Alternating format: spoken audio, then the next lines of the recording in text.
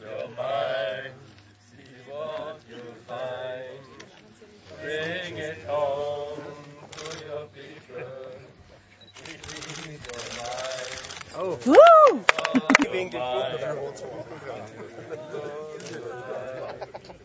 Bring it home to your people. Normalerweise heiße Kämpfe im Rathaus, heute heiße Füße in der Emsreute.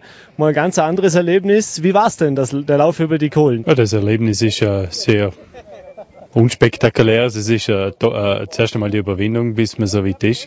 Aber nachher ist es an und für sich ja, ein Durchgang. Wie bei vielen Entscheidungen und bei vielen äh, Sachen. Na, es war eigentlich überhaupt völlig unproblematisch, wenn man nicht gerade ans Feuer denkt und nur an die Hohenheimser Stadtpolitik denkt, dann schaut es so aus, dass das Feuer um ein Stück unproblematischer ist. Es wird nicht so heiß gegessen, wie gekocht wird und so war auch der Feuerlauf. In der Stadtvertretung hört sich so ab und zu heißer an, wie es ist Anschein hört. Ich finde die Sache ist sehr gut, ist wirklich hervorragend gewesen. Es ist einfach ein Zusammenhalt da, man sieht da, wenn man will, ist vieles möglich und in dem Sinn tut mir das Ganze einfach okay. Ja. Es war ein sehr interessantes Erlebnis heute über die Kohlen zu laufen. Vor allem war es auch ein sehr interessantes Erlebnis, gemeinsam mit den anderen Fraktionen durch das Feuer zu gehen.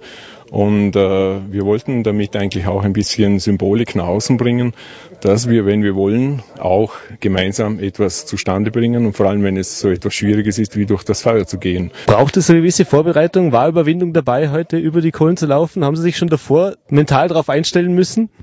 Der Papa und Mama und Oma und Tante alle sagen, meide das Feuer, das sollst du nicht machen, das hat man in Erinnerung. Da hat man eine andere Erfahrung gemacht. Überwindung ist natürlich gewesen, muss ich sagen. Es ist ja nicht alltäglich oder normal, dass man durch 700 Grad heiße Kohle durchläuft.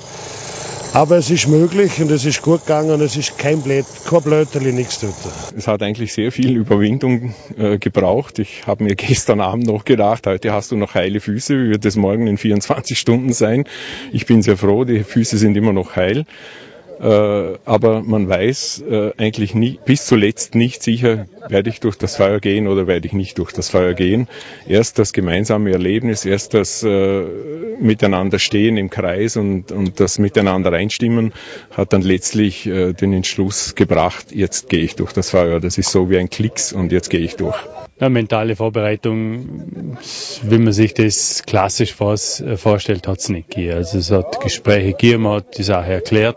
Man muss sich selber eigentlich im Klaren sein, was man macht und, und das wollen und auch funktioniert so. Das ist aber in vielen anderen Sachen parallel. Na, ich habe mir überhaupt nichts gedacht, muss ich ehrlich sagen. Ich habe heute den Terminkalender angeschaut, Feuerlauf, und ich habe schon viele Leute haben mir berichtet, dass es ein ganz lustvolles Ereignis ist. Schade ist es nur, dass es jetzt am Tag passiert und nicht in der Nacht. In der Nacht, wenn man die glühenden Kohlen sieht, dann wird einem schon wärmer wie jetzt. Da sieht man es ja praktisch nicht, das raucht ein bisschen.